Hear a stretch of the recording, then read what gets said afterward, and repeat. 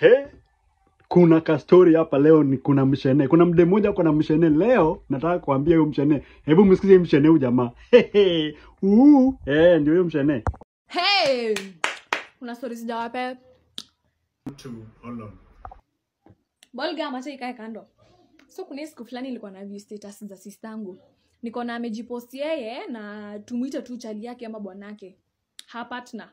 Yeye na huyu chali yake wamevaa nguo the same. And then wako kwa airport kwamebeba mizigo mingi. After some time akapigia mamangu akamwambia hey mam nakuja nakuja na mgeni. Ya mamangu tu alielewa "Ah, ni sawa. Hey, mamangu akaniambia josi sisako amekwambia nakuja eh. sasa hebu tumsaidie kupanga hii nyumba tuwapikie tujue nini tunawapikia. Tukafanya kila kitu mbio mbio sisangu amekaa mna huyu chali yake amejiintroduce wamepiga stori na mamangu. So time walikuwa nataka kurudi mamangu akaniuliza utaenda na sistako na mi ni last born na sistangu unaona ameolewa na mtu ako na do utaka hata my friend very fast nikapak nguo chap chap kwa gari tukaenda kwa sistangu eh tukafika nyumba ni two bedroom. We sitting kitchen kila kitu iko. So time ya kudos sistangu na uchali yake wakakuja kwa bedroom wakaniambia this is where you'll be sleeping. Anything yenye unataka uko natuitisha shes here am here. Okay fine. So sistangu si day one akaniambia good night. Na mi nikamwambia good night sis. Yeye yeah, sistangu ndo alitoka kwa hiyo bedroom yangu wa kwanza. Chali yake akamfuata nyuma. Chali yake badala atoke akitokanga akalale na bibi yake akanifanyia hivi. Wa-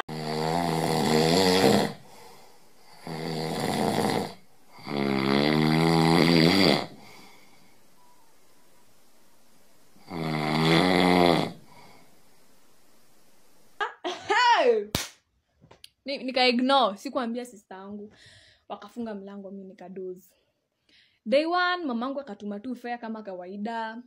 Siku ya pili akaniambia jue sistako anafanya kazi na achali yake pia anafanya kazi. Si wakwe wanakupea fea sasa ikakuwa ni sistangu ananipea fea so na sistangu alikuwa na hii tabia fulani. Aki akisha aki like akiwa kwa hiyo bedroom alikuwa tu anasikia tu movements zangu nikiingia bafu nikioga nikitoka nje so sistangu alikuwa amezoea ananitime nikitoka tu bafu hivi ananiambia hebu ingia ingia. Nimuuliza hii sasa naingia juu kwa bedroom yako? Ananiambia we ingia wewe ukujie gfa naingia. So kuingia nawapata tu wamedozi tu hapo kama kawaida normal tu. Ananiambia saidia hiyo handbag namchukulia handbag nampe.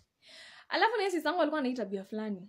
Alikuwa ananiita nikitoka bafu nikiwa tu na towel. Aniambia we kuja kwanza nikupee fea tumalizane so mi sikuwa naona kama ni big deal. Sisangu yeye aniambia awe ingia nikupee fea aisi mi naingia. Kwani ni kesho? Aiwe respect your elders bana.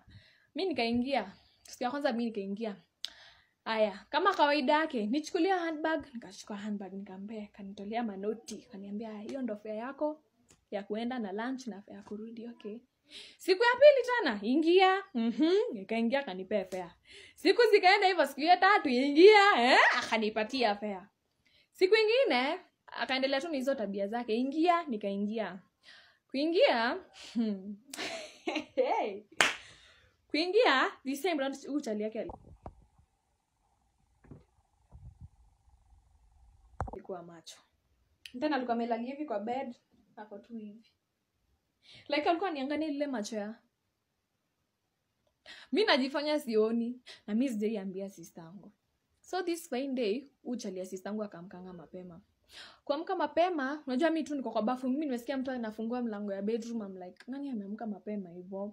Sistangu si kawaida yake kuamka mapema hivyo. Juu hata fea haamkangi anipee fea ananiambianga niingie kwa bedroom so nani ameamka? Si mi nimetoka bafu na katawel kangu kama kawaida. We kwenda kuingia tu hivi kwa bedroom yangu. Napata msia kwa hapo kwa corridor ati ana brush meno. Una brush meno nini? Una brush meno 6 na siku zingine unaamkanga saa moja aiwe wata mchezo bana. Nikaigno nikaingia bedroom. Kuingia bedroom niende nivae acha mi nimeingia. Niko na, naona niko tu hapa peke yangu kwa bedroom. He? Mi nimeenda nimeingia bedroom. Kwenda kufunga mlango haifungiki. Kubang haifungiki. Kumbe kimtu kimeweka hivi mkono. Nashangaa kwani huu mtu waumii akaniambia kidogo tu niongee na wewe. Alafu alikuwa na whisper nikamwambia awe ngoja kwanza nivae ngoja kwanza nivae sangu hapo bedroom atatusikia Sasa hizo tulikuwa tuna whisper. Si akanipea time ni dress. So time napita hapo sitting. Mimi nilipita tu mimi sikuwa naona kitu aniambia mimi nikapita akangoja nitoke nje. Nikatoka nje kwenda kufungua gate akaniambia we nikasimama.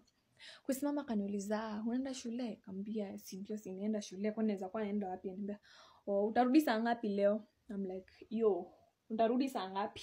Si narudi jioni 4 kama kawaida ama nikichelewa sana five kaniambia kanizokuwa na fea unajua mtaki kuuliza kwa na fea usamangi eh juu wewe mbona unaniuliza kama niko na fea si umeona nikienda? Kwani naweza enda kama sina fea akaniuliza uko na fea ai nikamwambia sina. Mse akanitumia tu- tu- 2500 ai nikajua sawa basi nikamwambia thanks. Akaniambia take care. Nikamwambia okay thank you.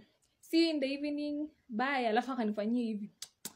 Mi nikaona tu ikikaa weird nikasmile tu mi nikaenda shule so najua kumbe huu mtu hata si alikuwa atume. Ni namba yangu alikuwa nata namba yangu alikuwa nataka mi niko class nimesikia kasimu kame vibrate. Naona text ati hey dear. Kuangalia ni new number. Ah nikasema hey ni nani? Akatai papo jini yake. I'm like mbona umenitext like uogopi sisangu akiona chat zako wewe. Uogopi akiona chat zangu kwa simu yako aniambia achana na yeye anajua niko loyal.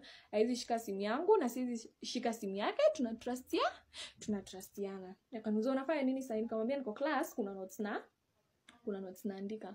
Akaniambia hebu send picture your class timetable. Aisi nikamtumia picha timetable.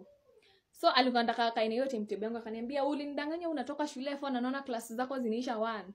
Akaniambia juu by one sistako atakuwa ameenda job atakuwa job si hiyo one mi nitoke job mapema ni sneak na pia utoke shule mapema ukuja kwa nyu ukuje kwa nyumba kama sistako kwa nyi, part 2 Ehe.